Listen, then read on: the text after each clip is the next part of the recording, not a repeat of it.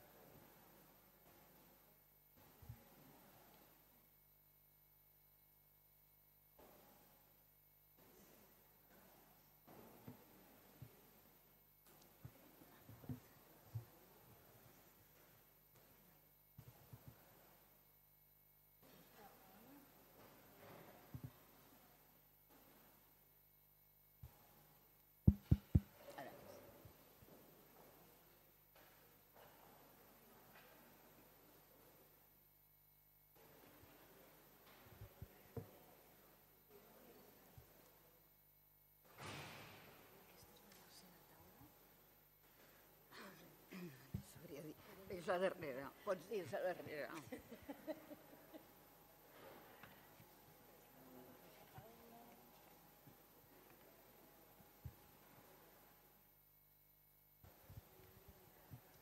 Bé, uh, bona tarda. Eh, ara començarem amb la darrera taula d'aquesta jornada que porta per títol de la perspectiva local a la global lesbianes a Catalunya i eh, jo seré la moderadora d'aquesta taula.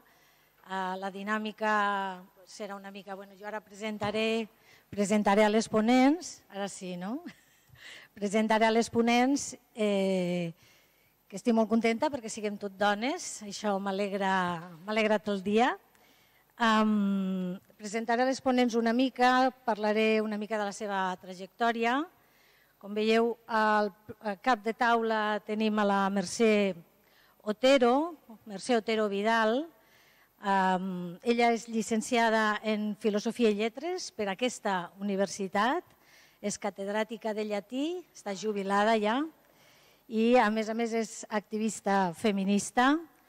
Al moment present fa una molt bona feina a Cala Dona, a la xarxa feminista, lesbianes feministes i bollos en teoria. A més a més és assessora del Centre de Documentació de Caladona. És una tasca imprescindible a Catalunya. És traductora i crítica literària i formadora en coeducació. I és membre del Consell de Dones de Barcelona, del Consell Nacional LGTBI de Catalunya també.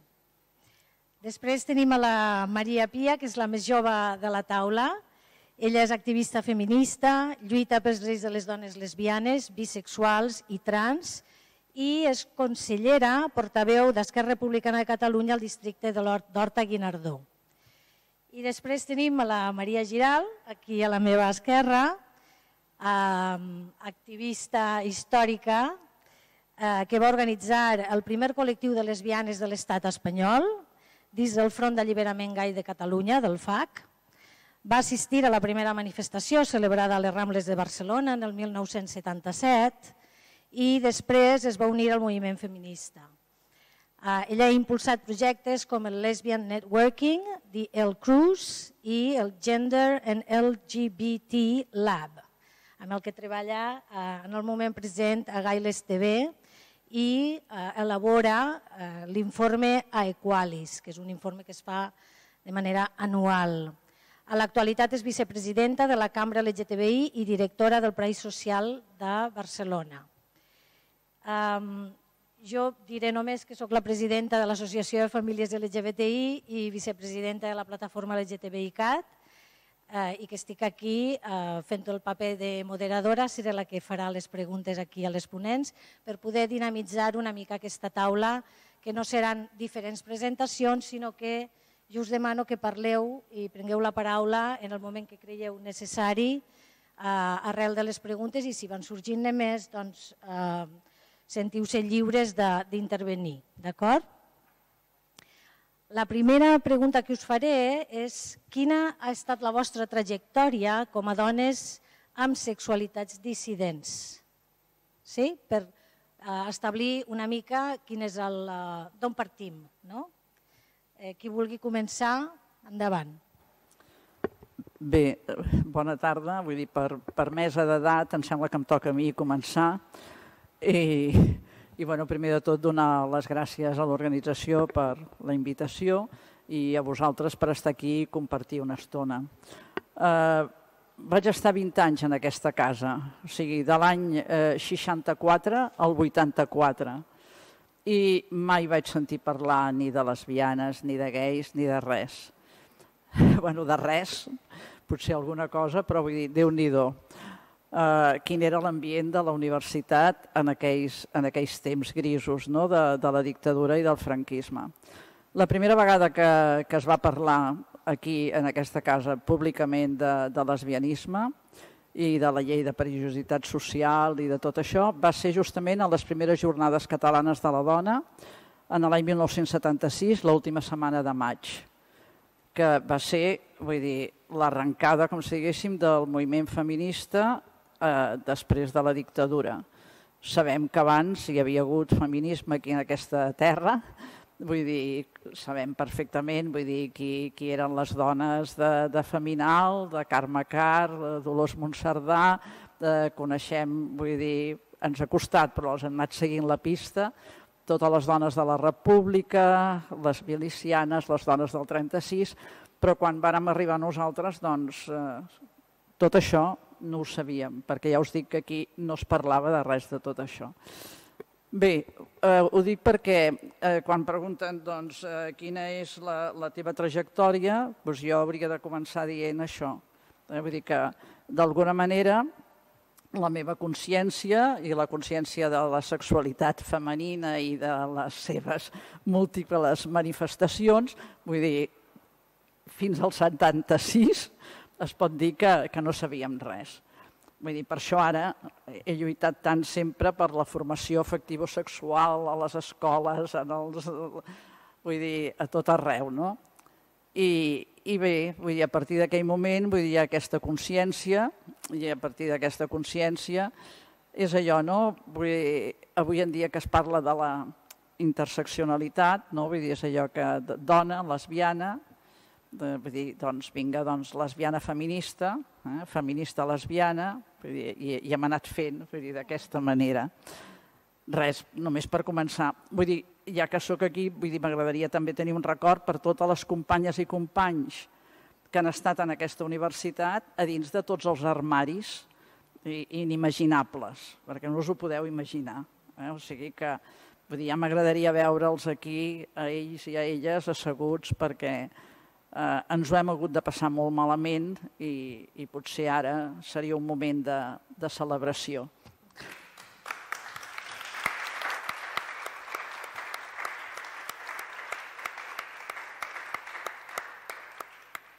Bueno, doncs, per, eh, m'imagino que eh, he de seguir jo doncs res, eh, jo des dels 14 anys que, eh, que tinc clar que m'agraden les dones, no sabia la paraula dissident, però sí, eh, sóc dissident des dels 14 anys, i aleshores, eh, bé, com la meva nòvia em va deixar perquè volia ser normal, doncs em vaig posar a estudiar psicologia quan ja tenia els 18 i, els 17, i vaig... Eh,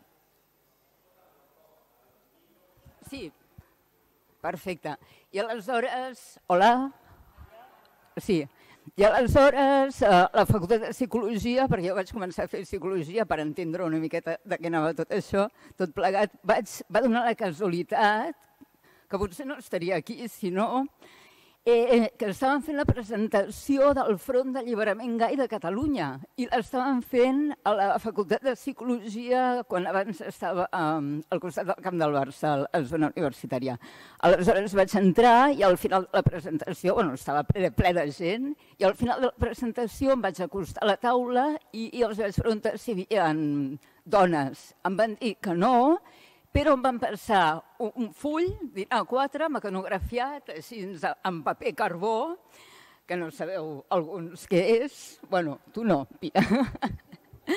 I Aleshores, doncs bé, amb 30 telèfons, 30 noms, i em vaig posar a trucar un a un.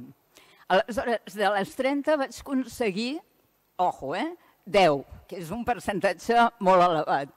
I aquestes 10 ens vam reunir a la plaça Catalunya, on ara està l'EFNAC, al Cinema Catalunya, i allà va començar el primer col·lectiu de lesbianes dins d'una organització eh, gai, en aquest cas, que era el FAC.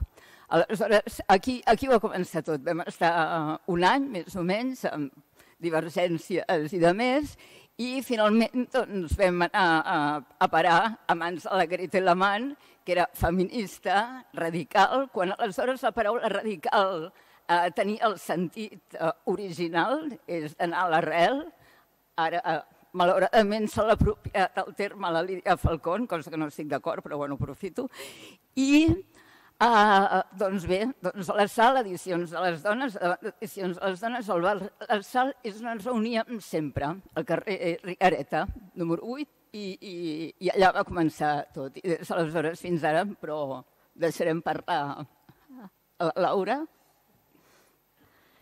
Bueno, jo sóc una altra generació, però també crec que vaig estar durant molt de temps a l'armari, de petita sí que és cert que recordo que vaig tenir nòvies, no? perquè per mi no hi havia etiquetes i per tant doncs, jo em donava de la mà amb noies, amb nois, jo soc bisexual, però després un cop em vaig començar a fer gran, eh, sobretot a l'adolescència, vaig haver de, diguéssim, tornar a l'armari per pressió i totes les relacions que vaig tenir des de llavors va ser amb, amb homes, però mm, no, no acabaven de, de funcionar, hi havia algú dintre meu que em deia que no, que no funcionava i després a l'institut no tenia cap referent, o sigui, no, jo no vaig veure cap gay ni cap dona lesbiana, vull dir, algú que no, que no es parlava. Jo sóc del 93 perquè pots, puc semblar més jove, però no tinc 28 anys. Eh, però bueno, jo sí que ha sigut com als 20 i pico anys, que és quan he sortit realment de l'armari oficialment, en enamorar-me de la meva millor amiga, o sigui, després de 15 anys eh, juntes, i, i sí que és veritat que jo personalment eh, a casa he gaudit molt de tenir un espai segur, un espai en el que pogués ser jo mateixa, crec que això és un privilegi i és, estic molt afortunada per això, però sí que és cert que socialment no. Socialment no he tingut referents, no he pogut parlar tampoc amb companyes mai d'això, ha sigut molt més tard que molts dels meus amics hem sortit tots més o menys a la vegada de l'armari, llavors hem pogut fer pinya i fer, i fer equip, igual que tampoc en la meva adolescència vaig trobar espais de socialització, diguéssim, del col·lectiu, no? Eh, Llavors crec, bueno, no, no sé si és gaire diferent, però, però sí que és la meva experiència. Podeu continuar i intervenir, eh? Jo us puc llançar preguntes si voleu. Però... Tu llença, nosaltres agafarem. a veure, um, què us va impulsar a visibilitzar-vos com a lesbianes? Bé, vull dir, el problema no és que tu et visibilitzis, sinó que els altres et vegin. Enteneu? Vull dir, i t'identifiquin com a tal. Encara que tu, vull dir, pensis que no, que vas fent i vas passant. Enteneu? Vull dir, aquesta és una qüestió, vull dir, que és, és, és, és, és una... que vull dir que no cal que ho diguis a vegades explícitament, sinó que la gent molt discretament, vull dir, perquè la gent és molt amable, eh? almenys en alguns ambients entre iguals, aleshores, doncs, vull dir, però és això, no? I aleshores, eh, de la visibilització eh, és, és com si diguéssim a base de, de temps, d'acumulació.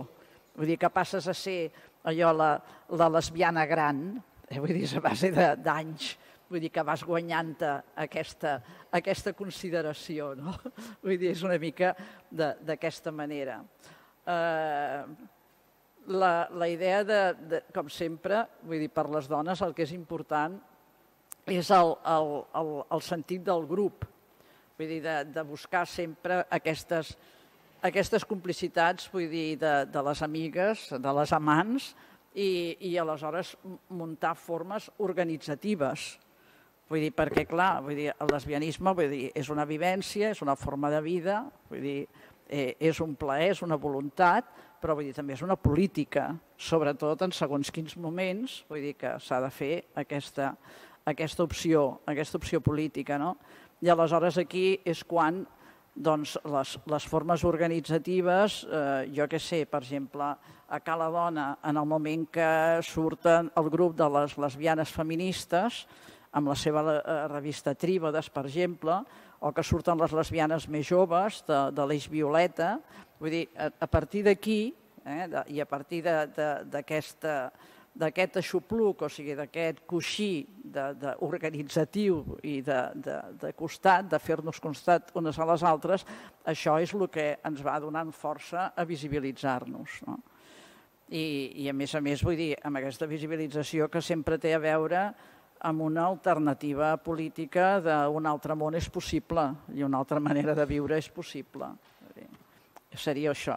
Eh? I ja que hem parlat de la, de la Gretel Amman, vull dir, doncs, esclar, des, de, des del Centre de Documentació de Cala Dona, vull dir, ens fem creus de com una, una dona sola va ser capaç de tenir una consciència històrica tan important de guardar-ho tot, eh, de guardar-ho tot, eh, personal, eh, impersonal, vull dir, tot el que calgui, els tovallons de, de les de, dels dies que anava a sopar, vull dir, bueno, totes les coses, no? I aleshores això, vull dir, avui en dia, doncs, és important, ja que estem parlant aquí no, de, de la història, vull dir, és important doncs, per tenir aquests punts de referència en el temps. Eh, vull dir, una cosa és tenir els punts de referència entre iguals en un moment determinat i després el reconeixement d'una genealogia. Vull dir que les joves, les lesbianes joves, sàpiguen que no són ni les primeres ni les úniques i que tenen al darrere vull dir, tot aquest tipus de documentació que, a més a més, és una documentació preciosa. Vull dir, preciosa perquè explica moltíssimes coses, per exemple, d'aquesta etapa que ara està tan amb entredit, que és la transició a la democràcia que va haver-hi en aquest país. Eh? I aleshores, vull dir, a base de, de documents d'aquest tipus, de lo que les feministes diem que el privat és públic i és polític, doncs és a partir d'aquí vull dir que podem anar traient molt, molta cosa. No?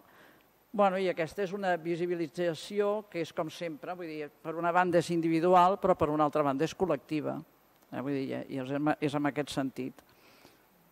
Creus, creus que se'n fa prou difusió d'aquest fons històric que tenim a Calafana? Bé, vull dir, a veure, és com sempre, a base de, de voluntariat, vull dir, un centre de documentació, imagineu-vos, vull dir, la, la feinada que suposa. Vull dir, un cop tens els materials, eh, la documentació posada en caixes, ja és molt, perquè al principi nosaltres vam passar la història dels arxius com un arxiu desencaixat, amb tot el sentit etimològic de la paraula, o sigui, perquè encara no teníem les coses posades en les caixes i perquè resultàvem ser un arxiu desencaixat comparat amb la, amb la tradició dels arxius notarials eh, que guarden els papers de, de, dels contractes i, de la, i, de, i dels testaments i de tota aquesta sèrie de coses, els arxius dels moviments socials vull dir, tenen un altre caire completament diferent.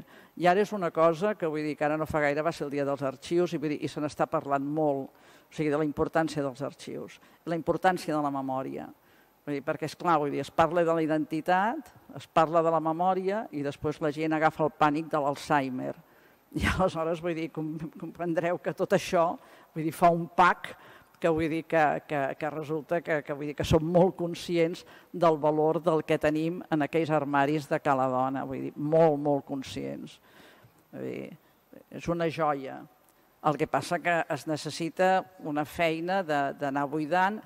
Sabem també que el suport paper eh, té, té un temps i per tant s'hauria de digitalitzar tot, etc etc. Mireu, si estem aquí en plan institucional, vull dir, ja demano a les institucions diners, si plau, per favor, per poder digitalitzar i així ens aprofito ja també la paraula. Sí, no, i a, a més, és, és important perquè eh, la història del moviment LGBTI eh, l'han escrit els homes. Per exemple, molt poca gent sap que existeix un personatge que es diu Stormé de la Verní, que va ser molt important a Stonewall.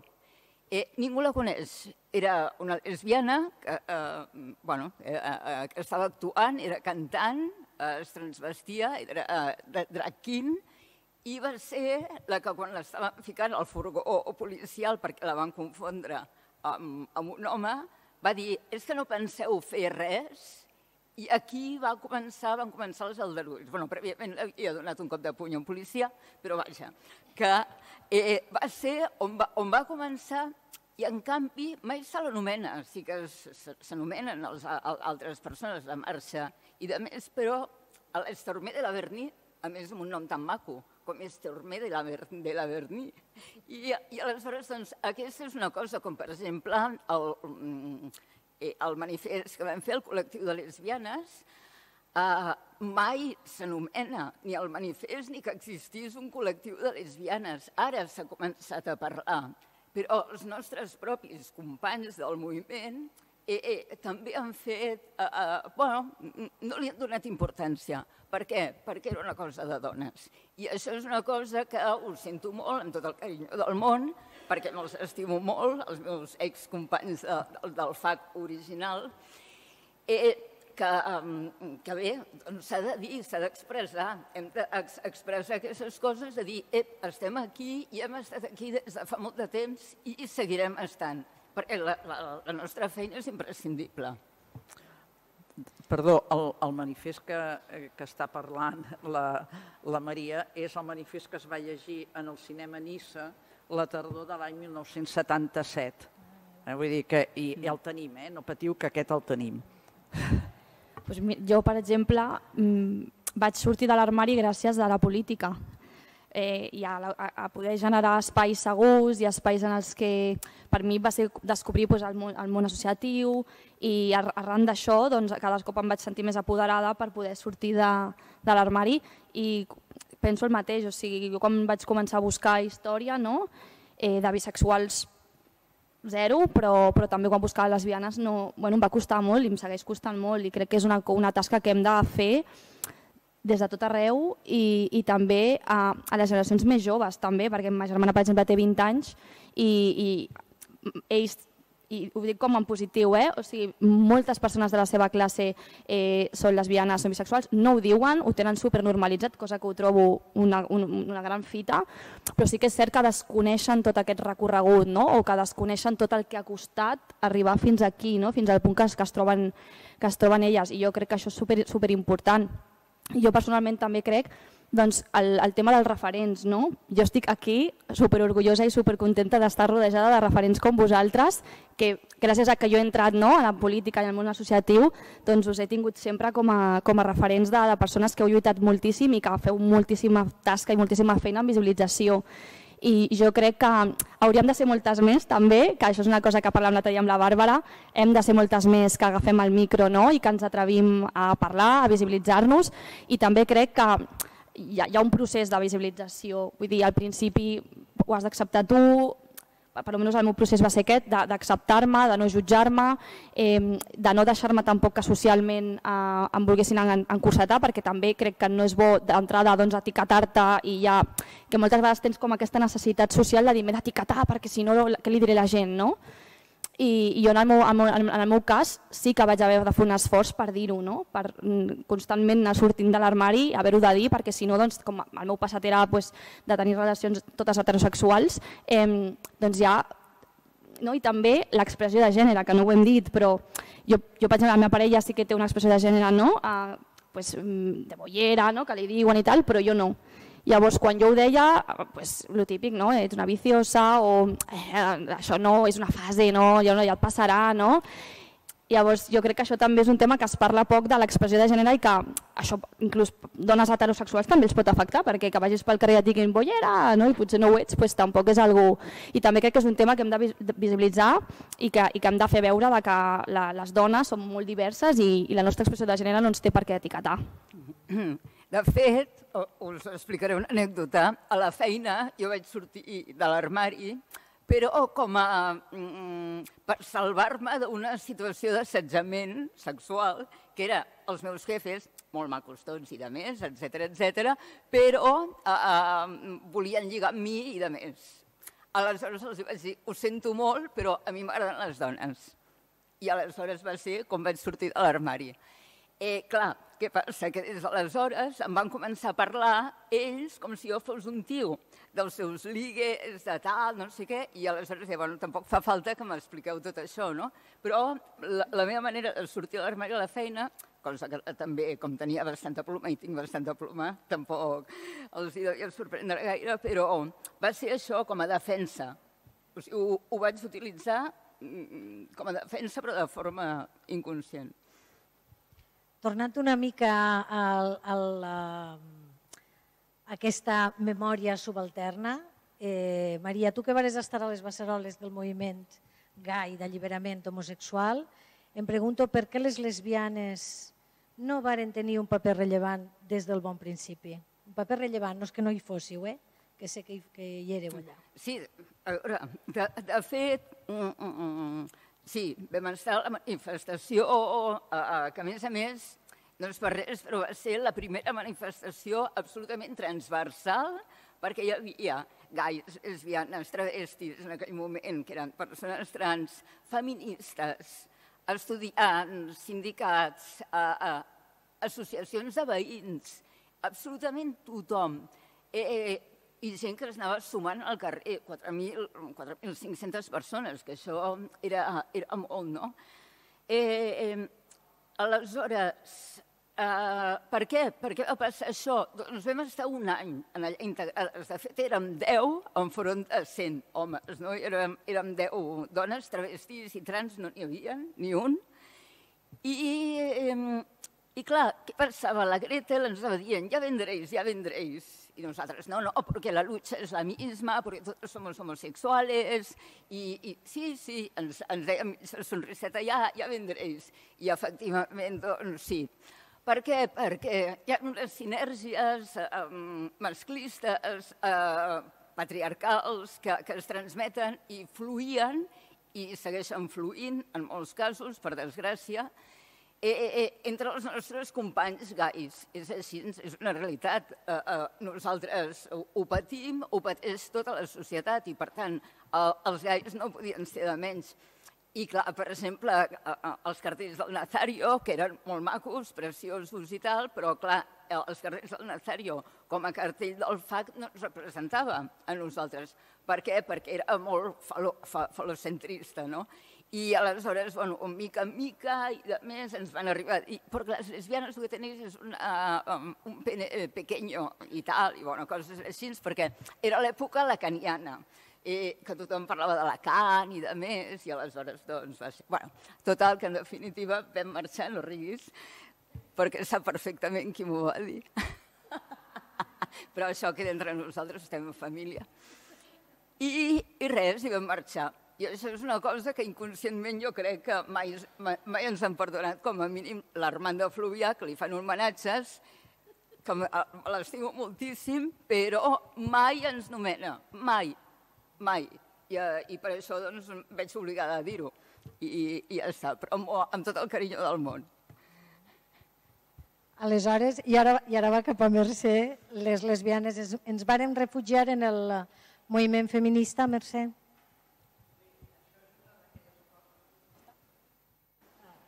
Això és d'aquelles qüestions, això és d'aquelles qüestions, no? la, la, la lesbofòbia de, del moviment feminista, que aquí hi ha vull dir, companyes que en poden parlar més perquè vull dir, s'ho han treballat més i perquè clar, moltes vegades vull dir, no te n'adones, és, aquella, és aquella sensació, no?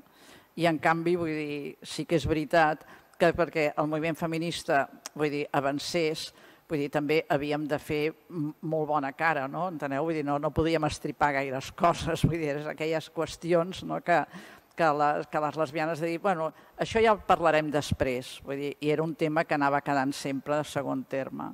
Aquella sensació de que en les manifestacions eh, de l'avortament i tot plegat, doncs, les lesbianes hi anàvem totes, eh, feministes lesbianes hi anàvem totes, i en canvi quan les convocatòries eren de lesbianes soles, doncs ja ens quedàvem soles. No? Vull dir, aquesta, aquesta, aquesta sensació vull dir, és de les coses que vull dir que, que el moviment feminista ara ha, ha anat, vull dir, ha anat eh, eh, estu estudiant-se, vull dir, des de, des de dins, no? des, de, des, de, des, del propi, eh, des del propi moviment. I, i vaja, vull dir, de tota manera, de tota manera la, les relacions no s'han trencat mai, o sigui que, vull dir, eh, les, les lesbianes a dintre del moviment feminista, vull dir, han tingut també el, el, el seu lloc, no? Almenys a mi m'agradaria que, que, que hagués estat així, perquè, clar, vull dir, també depèn de les situacions més o menys personals, però vull dir que, que t'hi trobes. El que ha estat una mica més difícil dins del moviment feminista, i, i en aquest cas també de les lesbianes, és el diàleg intergeneracional. Vull dir, que és, és això, que en un moment determinat, vull dir, també, vull dir, hi havia unes lesbianes joves que apretaven fort, no?, i que a, a, a dintre mateix de, del, del grup de, de lesbianes feministes, doncs allò que van fer també el seu document, que es va presentar a les jornades de, de Granada, no de Còrdoba, aquesta la primera, que era el vestit de l'emperadriu, en què vull dir, ja criticaven vull dir, la seva posició dins del moviment feminista. O sigui, no hi ha mai res fàcil, eh? o sigui, les coses sempre són molt més complexes de, del que semblen. No? I, però vaja, vull dir, ara em sembla que estem bastant, estan allò contentes i agraïdes totes juntes per si de cas, no? Bueno, també aquí a la sala, vull dir, hi ha, hi ha gent que porta, eh, que dinamitza el grup de, de dintre de Cala Dona, eh, un dels grups que està ara més actiu i amb més força és el grup de Bollos en Teoria, Vull dir que, que a més a més vull dir, diu molt aquesta paraula, eh? perquè és aquest contrast del bollos i en canvi en teoria. No? I que, que es fem uns debats els dissabtes, el, el primer dissabte de cada mes al matí, i aleshores anem repassant una cosa que també és molt interessant, perquè nosaltres mateixes, que hi ha unes que ja som grandetes, però anem repassant textos eh, antics, com si diguéssim, no? Estem repassant doncs, textos de la, de la Mònic Wittig, per exemple, eh, i aleshores, vull dir, si les dones, si les lesbianes són dones o no són dones, vull dir, temes d'aquest tipus, o sigui, hi ha lectures, vull dir, que són molt, eh, que tenen molta força, vull dir, vale, fins, que, fins que arribes a, a, a, la, a, a la performació actual, vull dir, podem anar, podem anar repassant els textos. Bé, vull dir, no sé, jo és que cada vegada això quan es diu el dia de l'orgull i tal, tot plegat, doncs eh, jo que penses, potser sí, tu, que, que vull dir, que el ser lesbiana i lesbiana feminista sí que et dona allò, eh, l'orgull de dir, pues sí, lo soy, venga. Bueno, jo, fi, fa una setmana o així estava rellegint uns manuscrits de la Gretel i tenien una actualitat una actualitat brutal. És que seria com per fer també uns, uns estudis, perquè a sobre tractava la forma de parlar als altres grups feministes, és a dir, ja des de la psicologia, des del llenguatge, el domini del llenguatge, era, era brutal i absolutament actual. Això que està dient la Maria, vull dir, de, de la Gretel, Vull dir, és allò que també hem d'anar molt en compte les dones, vull dir, lesbianes o no, allò de, de no convertir-nos en objectes d'estudi. Vull dir, volem ser els subjectes eh, dels estudis, perquè es posa de moda, així entre cometes, no? vull dir, un tema, i a més perquè són temes de recerca que no estan gens treballats, i aleshores a nivell universitari i a nivell d'on sigui, doncs aleshores doncs es tracta de, de, de, de el treball i les dones, la medicina i les dones, i les dones, no? Enteneu? I, i, i, i, això la Gretel ja ho, ja ho va veure. Eh? Vull dir, no és allò de que dir, de les lesbianes només podem parlar-ne les lesbianes, vull dir que, que és bastant fort, eh? vull dir, potser no és, no és arribar a aquest extrem, però vull dir, però sí vigilar, eh? vull dir, vigilar una mica, vull dir allò, no tomaràs el nombre de Dios en vano, pues no tomaràs el nombre del lesbianismo en vano. Sí, sí, no, és que... No. Sí, és, és cert, no?, quan, quan diuen eh, eh, eh medicina i, i dona. Clar, dius, ah, això vol dir que la medicina era dels homes, aleshores, fi, fins ara, no? És, el, el llenguatge és molt pervers en aquest, en aquest sentit i, i això la Greta ho dominava perfectament. Um, al fil d'això que esteu comentant, com, com penseu que hauríem de crear vincles amb altres lluites o, o com pot ser la lluita antiracista o per l'habitatge o per les cures? Quin pot ser el paper de les lesbianes en aquestes lluites? Bé, vull dir, amb el començament, quan hem parlat de que en la manifestació de l'any 77, vull dir, va venir tothom, enteneu? Vull dir, és el que, eh, vull dir, eh, no fa gaire Òmnium parlava de les lluites compartides, enteneu? Vull dir, a veure, vull dir, a veure si una altra vegada aconseguíssim vull dir, posar tot eh, en solfa, no? Però, és clar, això em recorda molt lo de la famosa interseccionalitat aquesta. Vull dir, aquesta sí que... Vull dir, però aquesta és l'última lliçó. Vull dir, sí. Primer estàvem per la transversa, transversalitat i, i després ara ja ens hem passat a la interseccionalitat i aleshores aquí... Eh, sí, el problema de... és que sempre es queda en paraules. Eh? És a dir, sempre estem fins aquí de sentir interseccionalitat, interculturalitat, transex... Bueno, I al final, què fem perquè això sigui possible? Què estem fent? Per exemple, introdueixo el tema, eh, jo estic veient amb una certa preocupació des de fa un temps, bastant que el món acadèmic, el món universitari on estem ara, en general, eh, crea una línia de discontinuïtat entre el moviment queer i el moviment LGBT. M'explico.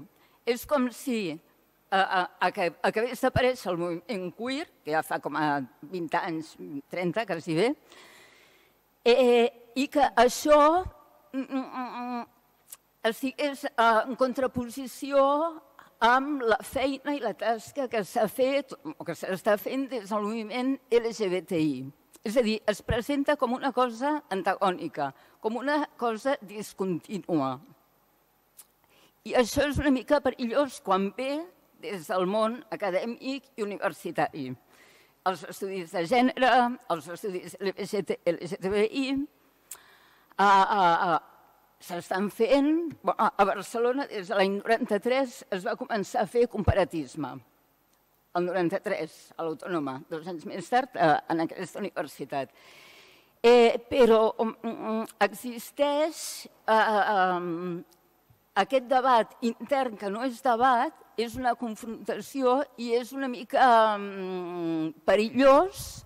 Per què? Perquè això, quan surt a la societat, eh, eh, la gent ho interpreta de la forma que ho interpreta i s'acaben fent reduccionismes eh, eh, eh, i trobant gent jove que, que, que, que són queer, i em sembla fantàstic, perquè eh, tots són queer, en realitat, tots són dissidents i, i tal, tinguem l'edat que tinguem, i que, i que estan en contra del Pride i de més, i, i clar, a mi em sap greu perquè jo soc directora del Pride, ara, d'aquí uns anys no ho seré, ja, ja, ja, ja s'apanyaran, no? Però eh, que, que em fa una mica de, de, de pena eh, observar això.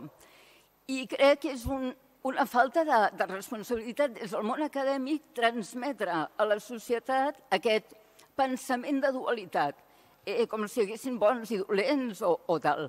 Què passa? Que les lleis que tenim ara, en aquests moments, a Catalunya i a l'Estat, és gràcies a la feina que han fet eh, les associacions de gais, lesbianes, bisexuals, transexuals. És la feina que, que s'ha fet, que han pressionat les, eh, eh, el, per, per aconseguir doncs, aquestes lleis favorables. Tirar tot això per terra, eh, bueno, simplement és per donar un toc d'atenció, de pensem a veure què estem fent des de la universitat. Des de la universitat. Després ja veurem què fan els partits polítics, que alguns, mm, bueno, d'esquerres, i, i a vegades que governen, que eh, agafen aquesta part del moviment queer més jove, més tal, i el potencien de tal forma que van detriment dels altres eh, moviments de, de sempre LGBTI, no? Eh, perquè d'alguna forma els, eh, els deixa amb el cul en l'aire, així directament. Aleshores, eh, bueno, senzillament és això. Ningú s'atreveix a dir el que jo estic dient, eh? Ojo, ningú s'atreveix a dir-ho, però ho dic jo, perquè serà per l'edat que tinc o, o el que sigui, però crec que s'ha de verbalitzar. Hi ha un problema i segurament es fa des de les administracions amb tota la bona fe del món.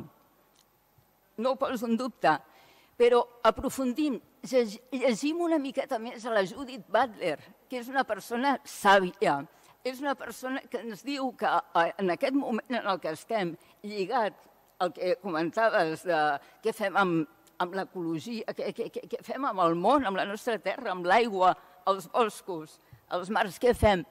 Solidaritat. Ella ho diu, la Judith Butler, hem de ser solidaris. Això no significa que ens haguem d'estimar, uh, ni, ni, ni, ni haguem de, de fer l'amor amb ells, ni res. No, simplement saber on està l'enemic és una cosa molt senzilla. I sabeu perfectament que l'enemic no som entre nosaltres, eh, eh, eh, eh, està fora. Per tant, mm, bueno, simplement no m'enrotllo més, però volia apuntar en aquest sentit. Jo sobre, jo sobre això, el que eh, des d'una vessant més no, d'una altra generació, jo crec que hem d'evitar molt les modes i molt cop, molts cops es creen i ho dic perquè jo segueixo moltes xarxes i estic molt ficada a les xarxes, llavors de cop i volta doncs, apareixen doncs, noms, noves etiquetes, i a vegades arriba un moment que això desvirtua, jo crec, eh, personalment, al final el moviment. I jo he anat a fer formacions del col·lectiu i quan comences a parlar de tantes etiquetes sempre et diuen, ostres, això de posar-vos etiquetes, no? perquè us heu d'etiquetar, no? llavors entres en aquest debat sobre les etiquetes.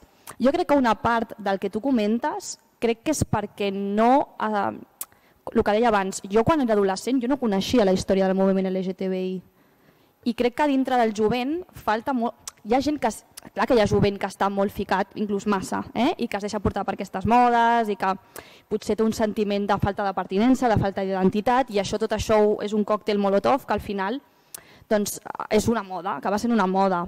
Però tot i així, eh, crec que és perquè també es, no tenen la consciència de tot el que s'ha fet i que volen creure en un món utòpic, que per mi el món queer és un món utòpic en el qual doncs, no, cal que, no, no cal que ens etiquetem, no cal que ens identifiquem, que jo no dic que no pugui ser el futur, però crec que actualment no és així. El que passa és que jo crec que potser hauríem de començar per llegir a Judith Butler i debatre i parlar tots, tots junts i totes juntes i, i tots juntis. O sigui, eh, ho hem de fer perquè eh, jo no crec que sigui una moda Uh, jo crec que és una evolució doncs, natural. O sigui, el moviment, des del 1977, que estàvem tots junts en allà, està canviant. Uh, es van uh, uh, ajuntant lletres i de més. Tenim l'A dels asexuals, que ningú sí. parla d'ells, però estan allà reivindicant-se els intersexuals que no volen estar, però els hem ficat, és igual. Doncs ja està. Per tant, mm, mm, mm no és una moda estar... O sigui, el no binarisme existeix, existeixen persones no binàries. Ella mateixa, la Judith Barrer, diu que ella no és no binària, però bueno, el terme no existia fa, fa, fa 20 anys, doncs, bueno, doncs mira, perquè igual jo hagués dit en el seu moment que jo era no binària. Perfecte, doncs puc ser no binària. Doncs ja està, no passa res. No, no, no té res a veure, no crec que siguin modes eh, exactament, sinó que són tendències. El problema està si, si no saps distingir, i aquest problema és de les xarxes socials, en concret Twitter, que no sé què els hi passa, però la gent es torna boja, que uh, uh, bueno, et poden destrossar la vida si dius qualsevol cosa de la que hem dit ara, aquí, eh, la meitat de la dècima part i tal, et pengen viu i et poden destrossar. I què passa? La gent té por. La gent prefereix no opinar. O sigui, i, I aleshores dic, ostres, estem en una societat que en teoria és lliure, no com l'època franquista, que teníem que, que córrer amunt i avall, i resulta que eh, estem més condicionats que mai, som més coberts que mai, no, no ens plantegem res, eh, donem per fer totes les coses i si hi ha una consigna la gent el, segueix. A veure, mm, mm, si, si, si som esquerres, eh, eh, hem d'intentar treballar perquè hi hagi una democràcia real i això només suporta l'educació, la formació. I és, és bàsic, és importantíssim, perquè si no, tot, tot, tot el més ja el serveix una um, jo torno un altre cop, perquè vosaltres se n'aneu. Um, jo us preguntaria ara, eh, i és una pregunta per totes tres, um, quines han estat, si és que n'hem tingut, quines han estat les, No tenim les, estat. Les reivindicacions històriques de les dones lesbianes? Quines han estat aquestes reivindicacions? Bé, de fet, és, eh, és, és una reivindicació general del moviment feminista, que és el del dret al propi cos, per dir-ho d'alguna manera, no? Vull dir, i a, a, a, a, a partir d'aquí, no? Vull dir, és... Uh, a veure, és, és allò de, de la- l'agenda, vull dir, quina és, ha estat l'agenda, en quins moments, no? perquè, és clar aleshores podríem posar eh, el moment dels matrimonis eh, gais i, de, de gais i lesbianes. Vull dir, això va ser una fita, per exemple, el, el, el grup de lesbianes feministes vàrem creure que, que el matrimoni era una forma patriarcal que encara reforçava més la família patriarcal, etc etc. O sigui que, eh, una altra fita, vull dir, vale, doncs, aleshores, eh, tenim criatures, totes les lesbianes, Eh? Vull dir, també va estar un altre, un altre moment, vull dir, eh, doncs, el fet de la, de la maternitat i que les lesbianes poguessin inscriure les criatures, vull dir, amb el nom de les dues mares, etc etc. O sigui que, vull dir, hi ha hagut eh, moments que, vull dir, que, que s'ha vist com així, no? com de dir, bueno, doncs això està clar en l'agenda, tal, no? Però és com sempre, això són puntes d'iceberg i després, vull dir, hi ha tot el, el, el fons, no? Que aleshores el fons és el que, de fet, estava dient ara la, la Maria, no? Dius, bueno, i, i què fem amb l'educació? I què fem amb la famosa coeducació? I què fem eh, si no hi ha una formació afectiva sexual a, a les escoles? Eh, què es fa si els bullings continuen sent, eh, vull dir, eh, totalment masclistes, etc etc. Vull dir, clar, entens? Vull dir, i eh, una cosa són, com si diguéssim, les reivindicacions que es poden anar posant així, vull dir, en, en l'agenda, no? I, I una altra cosa, vull dir, és que sempre, sempre encara faltarà una mica més. Vull dir, que és tot aquest, és tot aquest fons, no? És tot aquest fons. I és tot aquest reconeixement, doncs, de, de de, de, de, d'això, de la història. Vull dir, no? De, bueno, Sí, sí. amb això jo, jo quan la, la Maria parlava del, del queer, eh, resulta que a vegades ens venen, ens venen eh, fe, per fer recerca en l'arxiu de Caladona i diuen, eh, no, perquè venim a buscar material queer. I tu dius, no, nosaltres material queer no, no en tenim, eh, perquè en els anys 70, 80 i tal, vull dir, esclar, no, no hi era. I aleshores agafen el material dels 70 i dels 80 i diuen, però si això és queer, però si això és. El- Dius, exacte. bueno, doncs, entens? Sí, vull dir, sí, sí. això que, és que quan ho estaves dient, vull dir, eh, se m'ha quedat a mi la, la idea aquesta, no?, de, de, de, bueno, de lo que és una etiqueta i del que és una realitat, no?, del que és una Clar, realitat. És que, és que als Estats Units, per exemple, o, o, o- a fora, queer, eh, són tots queers, eh, eh, som estranys, som... Sí, sí, no, no, no, ara perdona En perquè... canvi, ja- aquí... M'he tornat doncs, enrere, m'he tornat enrere i la, i, i, i la d'això, i la Cati ens havia fet una altra qüestió, però a mi s'havia quedat una miqueta lenta, s'havia quedat això altre. Sí. Responent al que comentava la, la Cati, jo crec que això de la invisibilització de les dones lesbianes és un mite, perquè les lesbianes estem a tot arreu. Però quan dic a tot arreu, és a tot arreu. Des de, de, des de a, a la caixera del súper fins a les mestres, professores, Eh, eh, la setmana passada es va inaugurar Documenta. Documenta és, la, és una mostra d'art que es fa cada cinc anys. Des del 1955 es fa a Càrcel, té, és la més prestigiosa del món.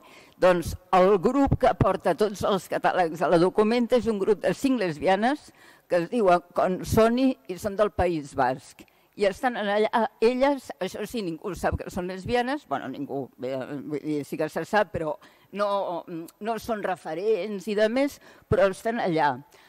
Mestres, un munt de mestres eh, eh, que són lesbianes, mm, tal. Estem a tot arreu. Però què passa? No ens hem significat amb el moviment eh, LGBTI. Per què? Perquè com tenim el doble sostre de vidre com a lesbianes i com a dones, el que fem és ens, ens, eh, ens immiscuïm, ens fiquem pels, per, per les esquerdes i allà estem, estem totes. Aleshores, el que, el que estàs dient és que les dones lesbianes tenim aquest doble sostre, que encara que anéssiu al FAC en aquell moment era molt més difícil per, per nosaltres com a dones lesbianes significar-nos. Ells no ho van entendre perquè per a ells sí que era el moment de tirar aquest camí endavant i que nosaltres vam haver d'anar una mica al darrere o moure'ns per altres camins i continuem fent aquesta tasca de manera molt més silenciosa. Sí, exacte. I moltes lesbianes que no s'atrevien a dir que eren lesbianes van trobar en el feminisme doncs, un aparador perfecte per, per estar allà sense manifestar-se com a lesbianes, sinó com a feministes, que, bueno, que quedava una mica més el, el suau. doble estigma. Sí, sí, Doble o sí. triple o... Mm.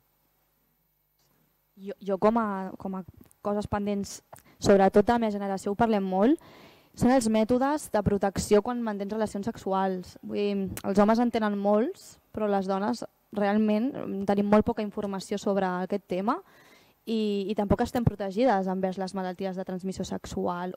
Vull dir, no, no, no, és com un condó, no? I, i és, jo crec que és un, un tema que se'n parla molt poc i que entre les noies, sobretot quan comencem a tenir relacions sexuals entre nosaltres, doncs ens entren molts dubtes. Llavors jo crec que aquí crec que és una tasca pendent, sobretot de cara a la gent jove, eh, i que crec que s'hauria d'investigar i que s'hauria d'impulsar. Sí, a més és caríssim, ho dic perquè era pel Pride, doncs clar, com és la, el, la campanya és Bollo Mami per les lesbianes, què hem hagut de fer? Doncs comprar eh, quadrants d'aquests, no? Caríssims, caríssims, eh? O sigui, de veritat, és com per netejar-lo i estendre'l amb una pinça, quasi bé, perquè és caríssim. Jo no sé què valen els condons, de veritat, però o, què valen? No ho sé, no tinc ni idea. Bueno, és igual, és igual. Però jo crec que són quatre vegades més cars, perquè són productes per dones, doncs jo crec que deuen tenir el 20 i pico d'IVA i tot, i, i tal. O sigui, I, i després que no, que, altres que no, que no les molta dones- gent els coneix. Vull dir que, Sí, que després és això, que has de mantenir relacions i dius, ostres, jo com em protegeixo i no en tens ni idea. I busques per Clar. internet i veus coses i dius, però això com s'utilitza, com... com... Clar, Vull dir, si, si ja costa entendre que les dones lesbianes a molta gent li costa entendre que pel fet de no existir un falo en allà, doncs sembla que no hi hagi sexualitat, eh, eh, cosa que no és cert, perquè quan una dona prova estar amb una altra dona, ja no hi ha tornada Vuelta enrere, atrás. normalment. Diu, Ho sento, però algú ho havia de dir. Totalment, doncs ja està, ho dic jo. Eh, eh, per, per tant, si no tenen se- sexualitat, menys tindran enfermetats sexuals. I aleshores, eh, per això és Totalment. tan car, perquè dius, és una cosa així de làtex, no? Sí. Que dius, bueno, agafes un preservatiu Sí. i tal, i en fas quatre. Doncs no. O sigui, és caríssim. Però sí, per la, per la menstruació, vull dir, ja també tenim tots els problemes que hi ha, no? No, deia que sí per la menstruació. Vale, a veure... No, no, no, que quan estàvem parlant del preu, no, de- de- de- d'això de, dels, dels elements de defensa, vull dir, i els que no són de defensa, que són del dia a dia, no, com poden ser les compreses o com poden ser els tàmpacs o tot plegat, vull dir, també hi ha aquest problema que encara no hem aconseguit una justícia allò, eh, vull dir, de, de, dels impostos que, que rebaixin la, Bueno, la però qüestió. parlem de les lesbianes, no parlem de la copa menstrual ara, perquè si no ens anem de, de, de tema. És Bueno, broma, ja, eh? ja, ja es veu que jo tinc una tendència. Aleshores, eh, creieu que per fi tenim un, un lloc de rellevància que puguem eh, tenir els nostres grups, eh, o si han existit grups de lesbianes, quins han persistit eh, al llarg d'aquest temps? Bueno, jo, jo vaig entrar a una entitat de la qual ja no formo part, que és l'Observatori contra l'Homofòbia, precisament perquè buscava un lloc en el que socialitzar i, i, i poder lluitar pels drets i em vaig trobar doncs, que no hi havia ni cap dona en aquesta entitat. No? Llavors jo crec que encara en, ens, ens, ens costa o trobar els nostres espais dintre del col·lectiu, la meva opinió, la meva experiència, i, i crec que en molts espais crec que encara ens costa, jo, la meva opinió, eh? em, costa que, que ens empoderem, que ens ho creiem, que, que siguem presidentes i no vicepresidentes que, i que entomem aquests, aquests temes en, en primera persona. I jo personalment vaig, vaig cercar, ara perquè sé, doncs, estic a bollos en teoria, vull dir, ara estic més ficada, però perquè he hagut d'entrar molt en el circuit, però inicialment jo buscava una entitat um, uh, LBT no? o de lesbianes per formar-hi part i em va costar molt trobar i vaig, vaig enviar crec que a l'Esbicat, no vaig rebre resposta i al final vaig acabar l'observatori, però sí que crec que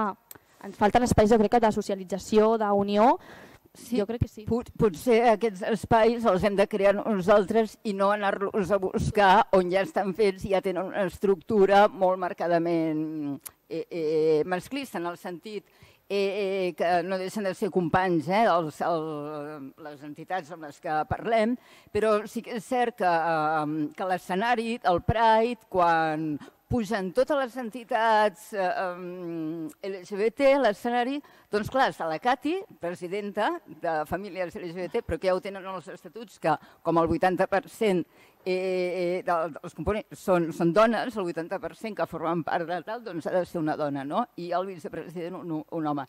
I després l'Anna Valenzuela de, de Crisalis, no? Per tant, una cosa que els hem dit eh, aquest any és busqueu, feu que surtin les dones, les dones lesbianes de les associacions, eh, eh de les vostres associacions, i que siguin les que pugin el, mm, aquest any a l'escenari, aquest any o, o en el futur, no? Per què? Perquè la fotografia és molt clara. És tot homes, menys la, la Valenzuela i aquesta senyora, i jo que vaig pol·lulant per allà.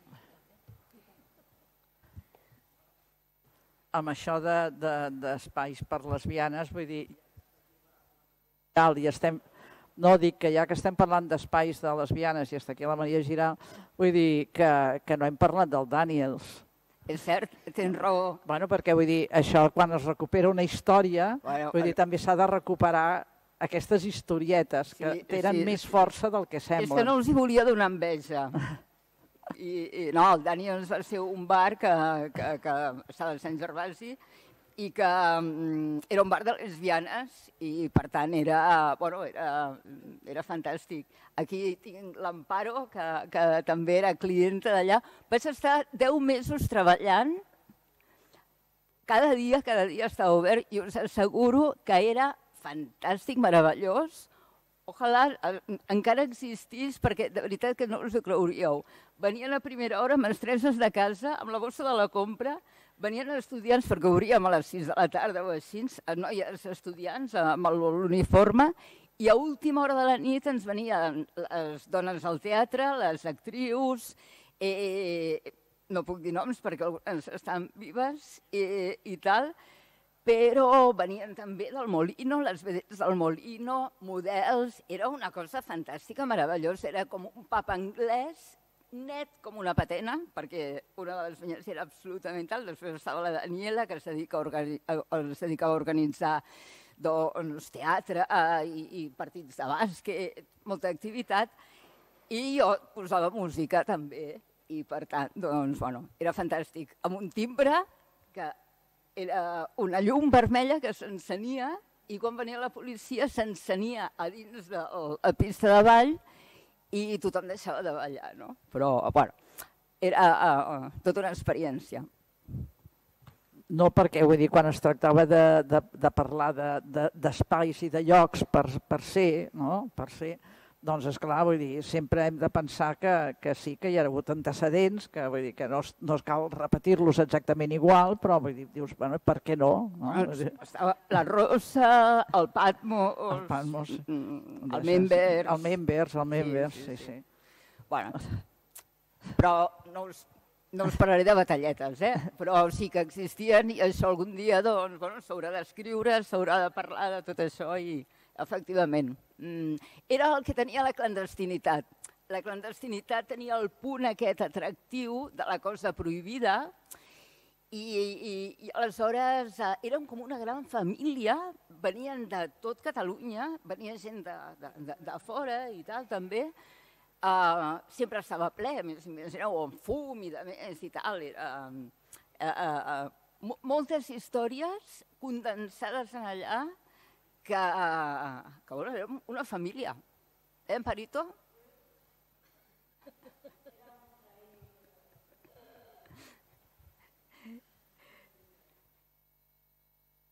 No, no, només era, només era jo perquè, vull dir, ja que estem en un lloc d'història, vull dir, s'han de posar unes fites, vull dir, ja, ja en aquest cas podríem pensar, bueno, jo penso que, que és important tenir-ho en compte, no? Vull dir, perquè una cosa és, com sempre, vull dir, és la, la militància, avui en dia no està bé dir militància, l'activisme, i una altra cosa també són tots els espais de, de, de compartir, de plaer, de, de benestar, no? de, de poder, de poder ser-hi. Llavors, en aquest sentit, jo penso que, que, és, que és important, no? Sí, ens hem de, de, de reinventar sempre. És a dir, jo què sé, eh, eh, ara tampoc us explicaré, no? però bueno, vaig organitzar fa, eh, fa anys, el 2013, durant quatre anys, mm, amb companyes, amb sòcies, eh, creuers per lesbianes pel Mediterrani. Doncs, bueno, coses diferents. Ens venia gent del Perú, parelles del Perú ens venien a, a fer el viatge, a travessar no, només per venir nosaltres. Era increïble. Eh, és a dir, noves formes d'organitzar-nos. O sigui, potser el que ja existeix no ens serveix. Hem d'inventar-nos, i això ho farem nosaltres. No hem d'esperar que ens ho facin. Sí, a més, eh, estic molt d'acord amb això que acabes de dir, que ho haurem de fer nosaltres, ningú farà per nosaltres. Jo per acabar, abans de passar al torn de preguntes, sí que us agradaria, m'agradaria que em diguéssiu si teniu alguna autocrítica amb la tasca de les dones lesbianes eh, des de l'any 77. Bé, jo vaig aprendre aquí, en aquesta casa, vull dir, a l'època aquesta de la clandestinitat, que si demanaves l'absolució era possible que et condemnessin a mort. Això ho deia, ho deia per quan portàvem tots els papers clandestins a la, a la, a la, a la cartera i aleshores doncs, si, si t'agafaven era allò de dir, has de dir que, que portaves això, perquè si no t'encolomaran això i tota la resta. Enteneu? Vull dir, bueno, ho dic per lo, per lo de les autocrítiques, vull dir que és, és, és allò, si demanes l'absolució, doncs no, vull dir, a veure, segurament hem fet coses bé i coses malament, Vull dir, però bueno, eh, eh, eh, ho hem intentat, eh? Vull dir que això és, això és molt, molt important, no? Vull dir, haver-ho intentat. I, I, evidentment, amb una perspectiva, vull dir, eh, avui en dia, doncs, eh, per exemple, que ara aquí que veig que hi ha eh, gent de les institucions, vull dir, clar, vull dir, hem de pensar que també tenim tota una sèrie de lleis. Vull dir, sabem els límits, les feministes sabem els límits de les lleis, no? que és allò del, del que hem estat dient dels sostres de vidre i tot plegat però vaja, benvingudes siguin, vull dir, eh, les lleis aquestes, no? I aleshores, doncs, eh, és això que dius, eh, haguéssim pogut fer-les millor, aquestes lleis. Sí, perquè moltes les han fet de pressa al final d'una legislatura, perquè no sabíem si podríem fer-la en la legislatura següent, però vull dir, bueno, però ja estan fetes. Vull dir que hi ha temes d'aquests, vull dir que, que, vale, que, que, bueno, que jo penso que, que en la mesura que, que som eh, dones conscients i responsables, doncs, vull dir, eh, assumim la responsabilitat, justament això.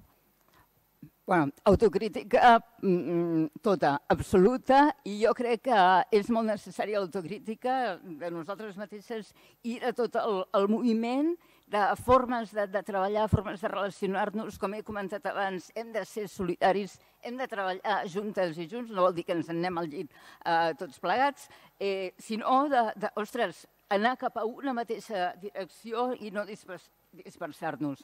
Eh, eh, autocrítica per a les lesbianes, també en concret, és... Mm, eh, no, no voler prendre protagonisme. Potser pel fet de ser dones, que sempre ens costa parlar en públic, a mi no m'agrada parlar en públic, però dius, és que ho he de fer, ho he de fer perquè estic obligada, o sigui, tinc l'obligació moral de, de, de fer-ho.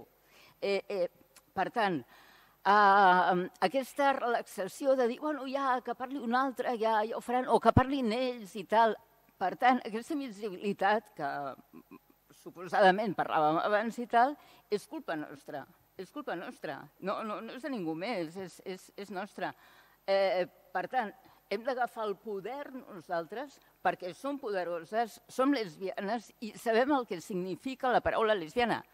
Som amazones, ho sento molt, estem lluitant contínuament, hem lluitat des de petites o altres no tan petites, però normalment des de petites, eh, eh, i hem anat en contra absolutament de tot d'aquesta societat. Per això ens hem fet a nosaltres mateixos. Som persones lliures, perquè no hem tingut que dependre mai econòmicament d'un marit en, en concret. No? Això no significa que totes les dones, evidentment, eh, estic, estic fent un generalisme, eh? però que, que, que aquest poder l'hem de saber transmetre també per poder agafar l'espai, els espais públics, els privats ja els tenim, val, doncs volem els espais públics.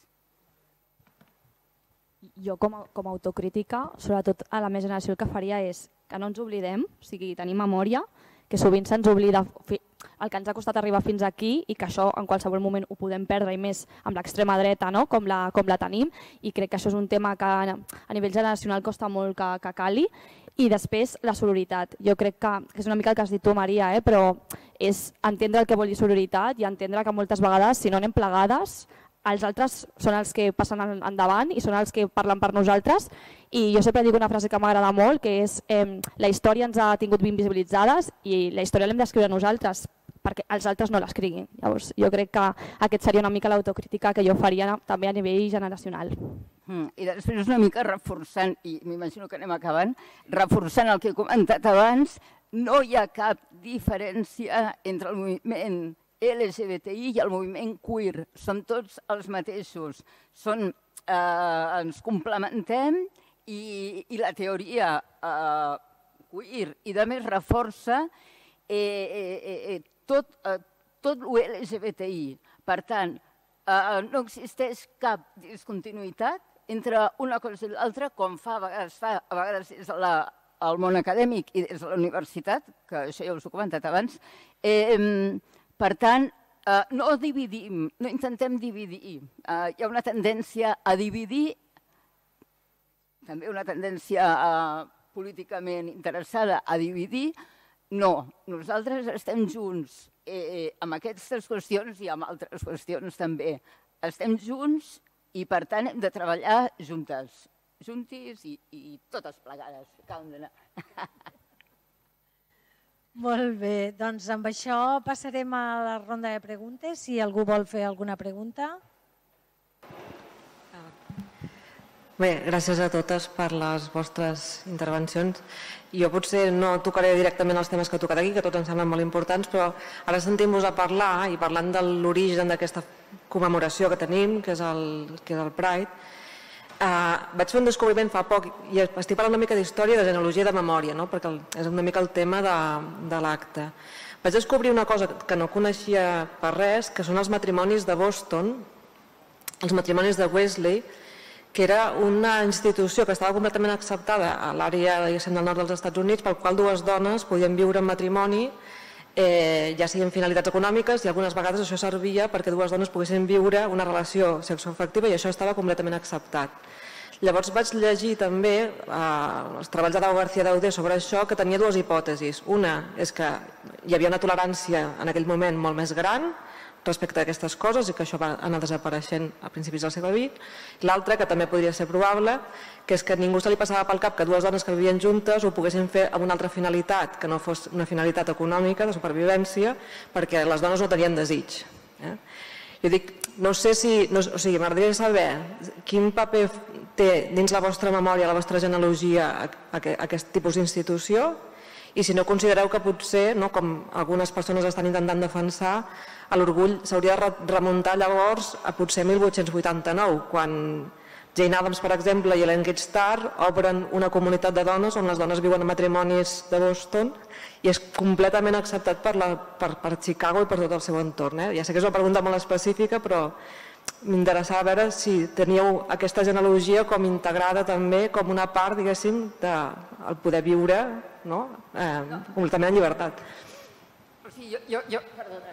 Uh, jo crec que no, no podem parlar dels orígens i tal, ens hauríem de remuntar a Safo, eh, que per altra banda, Safo mm, va ser la poetessa més important eh, eh, que, que, que hi ha hagut mai, però pel fet de ser eh, lesbiana doncs sempre se l'ha deixat una mica de banda, però és tan important com Homer en el, en el seu moment. Això no es parla, però ja es parlarà.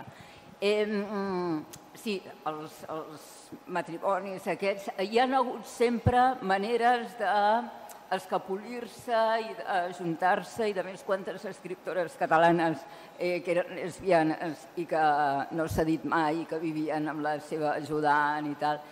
Eh, eh, això ha existit sempre, no hi ha cap origen, ni al segle XVIII ni XIX, mm, ha existit sempre i ens hem anat camuflant com, com hem pogut. La història d'en Lister eh, al, al, a l'Anglaterra victoriana, eh, que ja va aconseguir viure amb la seva, amb la seva parella, vull dir, eh, i, i si anem a buscar els orígens, eh, el que diu Maria, ens n'anirem molt enrere.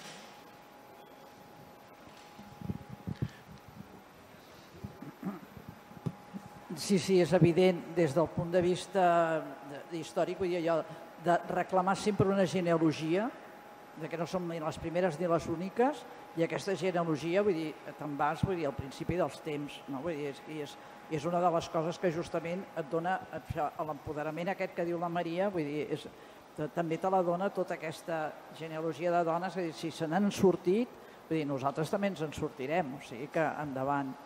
Sí, vull dir, és, eh, hi han casos d'aquells que són molt emocionants i a més en, en, en forma literària, no? Vull dir, perquè el que conservem és la, la, la literatura i això també és una cosa que no hem dit, no? Vull dir que les lesbianes, vull dir el paper de les lesbianes a la literatura, vull dir, tant per trencar els estereotips, no? Vull dir, i, bueno, és un altre tema, però sí, sí, molt ben vist.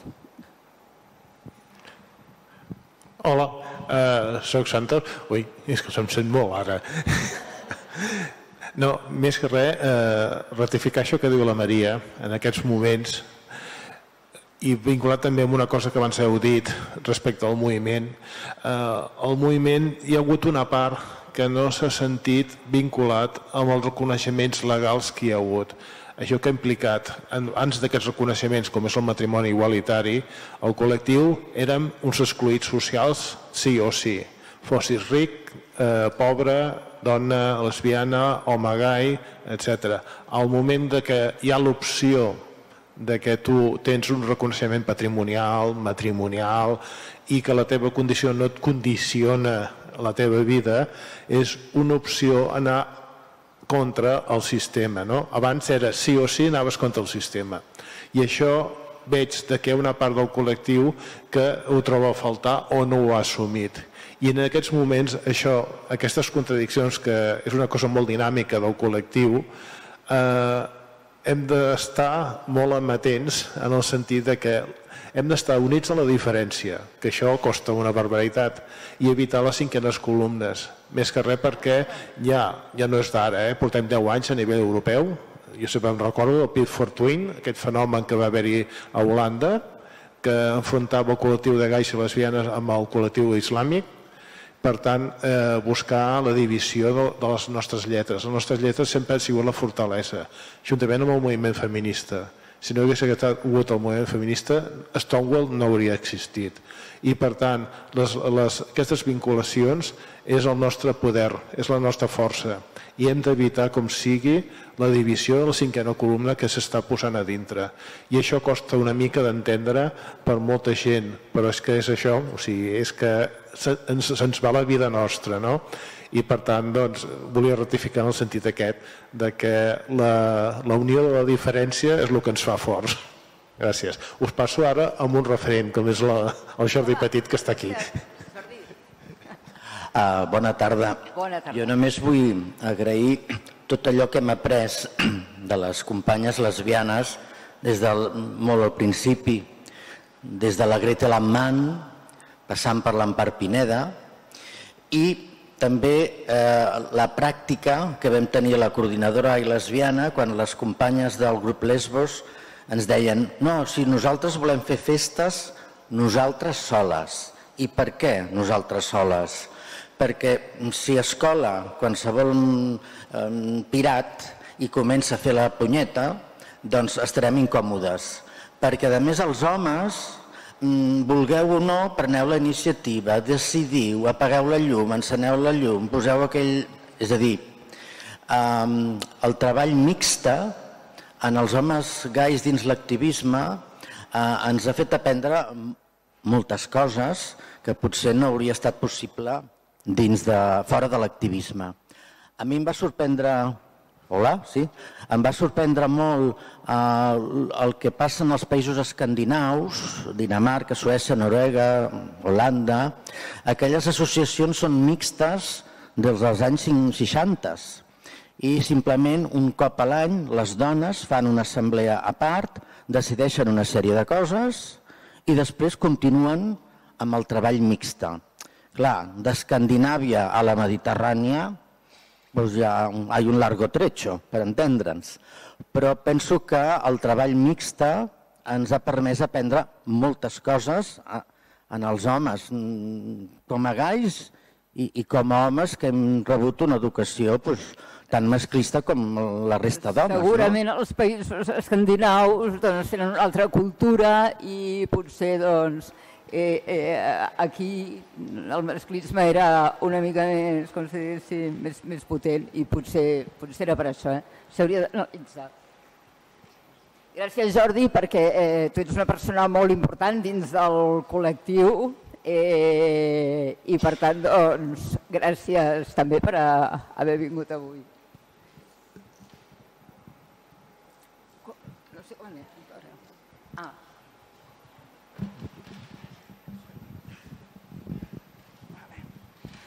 Eh, jo penso que les lesbianes sempre hem estat una frontissa entre el moviment LGTB i el moviment feminista i en aquesta frontissa moltes vegades hem perdut la referència del ser lesbiana. És a dir, eh, jo no sé què pensareu, però tu has vist molt bé, Maria, quan ella s'anava amb, amb les copes menstruals, i és que tenim una tendència brutal a parlar de tot menys de nosaltres. Val? I tenim una tendència brutal a allotjar-nos en el moviment LGTBQ i plus i el moviment feminista. No? I en aquesta doble vessant, que estem molt còmodes i, i que funcionem molt bé, ens costa molt eh, parlar de nosaltres, mantenir el tema en nosaltres i eh, enfocar-nos en nosaltres i parlar des de nosaltres. No? I llavors jo penso que potser aquesta és eh, eh, la tasca prim, primordial que haurien de tenir les lesbianes eh, sense perdre de vista ni deixar de fer activisme ni en el moviment feminista ni en el moviment LGTBQ, però sí fer una tasca de recentralització de la mirada cap endins i des de dins cap enfora amb les lesbianes. I m'agradaria saber que si teniu alguna mena d'estratègia no? de, de quan, quan esteu en algun lloc i veieu que us esteu anant perquè tenim aquesta habilitat i facilitat, doncs eh, per recentrar-vos. Estem treballant aquesta estratègia. Estem treballant aquesta estratègia. A mi, si em permeteu, m'encanta que ho hagis dit, perquè pensava que no acabaria de sortir aquesta idea, però és ben cert així, no? Jo sempre he tingut la sensació de que com a dones lesbianes sempre estem feina, fent feina pels demés, sempre. I dius, a veure, quan, quan ens tocarà a nosaltres el moment, no? Uh, que per això hem, hem fet aquest Pride, que tenim el grup motor que tenim i, i hem volgut fer aquesta feina. Uh, però és, és work in progress, eh? encara, estem allà. És que som, som mares, som mares. De fet, som mares, estem cuidant sempre, cuidant. No? Exactament, sí, sí.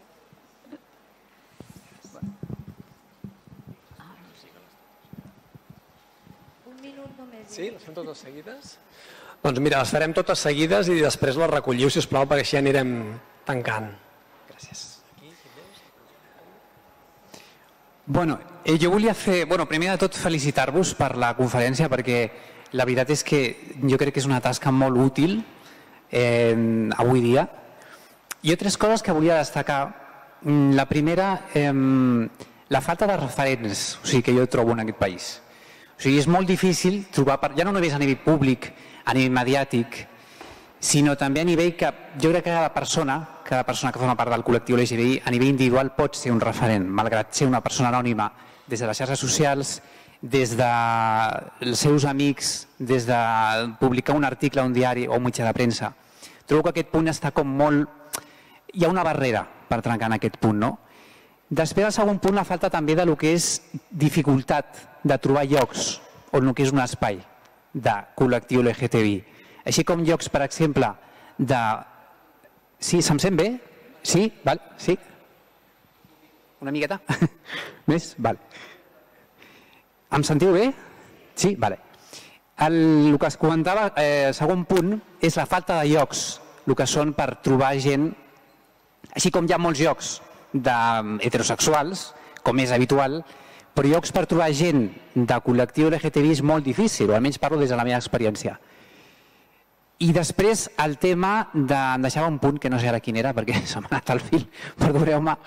Eh, una altra cosa era el... Sí, la visibilitat. La visibilitat a, lo que són els mitjans de comunicació. Jo trobo que es parla molt del tema de les agressions que pateixen molts nois, o moltes noies per ser gay, ja sigui una platja, ja sigui una vinguda, un passeig marítim, però jo crec que en aquest aspecte no es, mm, no es fa prou feina.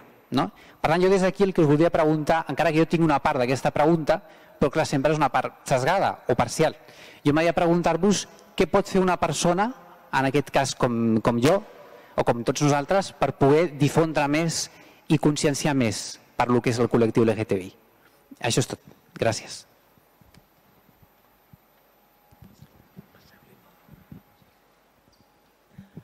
Uh, disculpeu que torni a intervenir. Jo només volia fer un, posar l'accent en quelcom que, que històricament a mi m'ha semblat el més transgressor que ha portat uh, el moviment LGTBI a uh, les lesbianes, que és la maternitat lesbiana. És a dir, la, la maternitat entre dues dones a mi em sembla que trastoca tot l'esquema masclista, heterosexista, paternalista, i a mi em sembla que aquesta és una grandíssima aportació a fer visible la, la diversitat. La maternitat lesbiana a mi em sembla que és una aportació sensacional que ha arribat en, doncs, en el moment que, que s'ha pogut i en aquest sentit a mi em sembla que és l'avantguarda del moviment. Les famílies homoparentals i especialment la maternitat lesbiana, només posar l'accent en això. Res més, gràcies. Sí, enllaçant amb el tema d'espais de sociabilització, de festa, de plaer, eh, heu, vau trobar o heu trobat a Sitges aquest espai de llibertat o l'heu hagut d'anar a buscar en un altre poble perquè Sitges estava copat pels gais?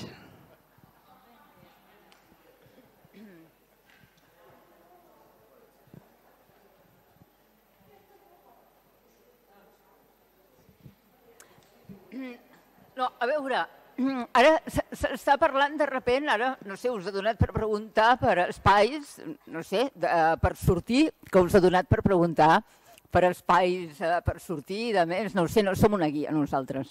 O sigui, tot el carinyo del món, no ho sé. Eh, de fet, nosaltres com a lesbianes, que és el, el motiu de la taula, eh, eh, hem estat buscant sempre els nostres espais entre nosaltres mateixes, entre amigues i de més. És molt difícil, però nosaltres som persones absolutament normals i corrents i això com qualsevol altre, sempre es busquen els espais en funció doncs, una mica d'afinitats. Eh? Eh, Aleshores, comentava la companya sobre els espais a, a, petites poblacions i de més, no sé, jo conec dones que han agafat, han comprat una caseta entre vàries al Maresme i s'han anat ja de grans a viure al costat del mar. Però són opcions. Mm, mm, ha altres que no, o que tornen a viure en comuna, quan érem joves doncs vivíem en comunes, en aquella època, i, i ara potser tornen a viure en comunes. Per què? Perquè una residència eh, de persones grans no, no, no és un espai que se senti incòmodes, lògicament, perquè eh, eh, encara falta molt, no? Sí, exacte. Jo, si, si em permets, vaig a unir aquesta pregunta que acaba de dir la... Vaig... Està, de veritat que està engegat, està en verd, eh? Val, ara, uh, per, per unir aquesta darrera pregunta i el comentari que ha fet el Jordi Petit, Uh, les lesbianes que, que opten per, per tenir infants, per, per tenir aquesta maternitat compartida o no, uh, com a mares lesbianes, eh, el que es troben és que no encaixen ni dintre del món heterosexual ni tampoc dintre del seu entorn lèsbic en el que, del que estan gaudint fins al moment de tenir fills si les seves companyes no tenen infants. I aleshores el que fan és venir a entitats com la nostra a buscar aquests espais on tor poder tornar a estar en un ambient relaxat entre lesbianes que a més a més tenen infants.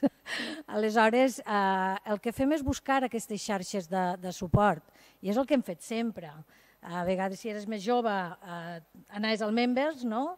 i ja si ets més gran i tens la possibilitat de, de tenir família o de tenir infants, doncs el busques altre tipus d'espais. De, de, Te'n vas als parcs, no? en companyia de les teves amigues lesbianes que també tenen infants. Només ah, volia comentar això. I una altra cosa, viatjar. Que les lesbianes no és per res, però els agrada, ens agrada molt viatjar. És a dir, així com eh, te'n vas a qualsevol lloc del món i sempre et trobes un català, sempre, doncs també et trobes lesbianes, està ple. Per què? Doncs, bueno, mm, ens agrada, ens encanta conèixer altres cultures i conèixer altra gent i de més. És cert, no us ha passat? Aneu a l'últim racó del món i allà hi ha un català, dius, de veritat? Sí, sí, sí. Doncs eh, això estem a tot arreu. Per tant, lesbianes també, i sempre viatgem. És dir, de fet, la nostra il·lusió és, no sé, ser tal mai Luis, però sense el final. Que al final tampoc sabem com s'acaba, eh? Ojo. Eh, per tant, doncs sí, viatjar a altres formes. És a dir, i ens podem inventar coses. Ens hem de ser creatives. Hem d'inventar, jo què sé, deixant-se les cases a Austràlia, a Portugal, als Estats Units, deixant-se cases i d'intercanvi. Jo què sé, és a dir, per què no? Per què no? Què, algunes ja esteu pensant això, eh? Si ja no hi ha més preguntes, donaríem la taula per tancada. Agrair a la vostra presència aquí i espero que un foro com aquest es torni a repetir en futures edicions, que no es quedi només en una, sinó que puguem repetir-lo any rere any. Moltes gràcies.